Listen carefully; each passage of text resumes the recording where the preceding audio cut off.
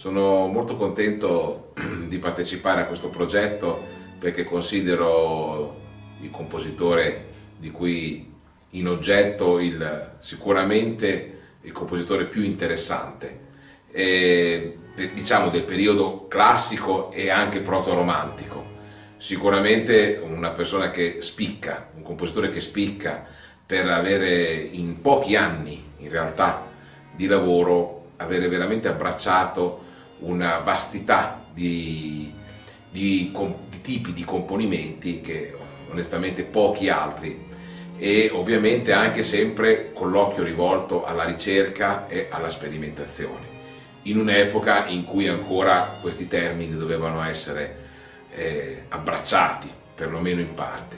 L'opera 101 di Beethoven inaugura le, le ultime sonate per pianoforte dell'ultimo periodo della vita appunto di Beethoven, l'ultimo stile compositivo. all'inizio del primo movimento abbiamo un'intestazione in tedesco, Mit der Einstein Empfindung, che tradotto in italiano vuol dire con il più profondo sentimento. È un movimento e una sonata fatta di melodie bellissime, eh, una polifonia che si intreccia tra destra e sinistra. E addirittura abbiamo un particolare, quella che Wagner definì poi dopo e riprese eh, tramite un concetto di melodia infinita.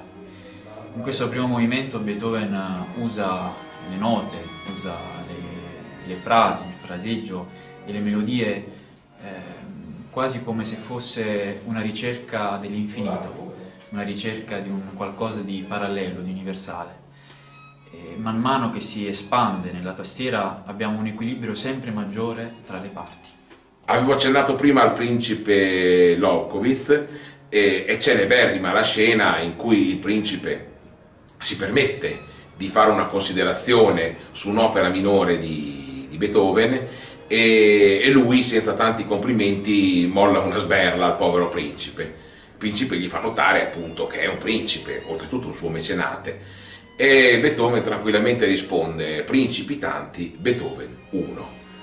E quindi questo è il personaggio, è il personaggio che sapeva, sapeva, era profondamente consapevole della sua arte, de, del suo genio, e, ma è rimasto sempre comunque umile, è rimasto sempre umile di fronte alla musica, lui considerava la musica al di sopra di tutto e lui semplicemente uno che faceva musica, musicante appunto.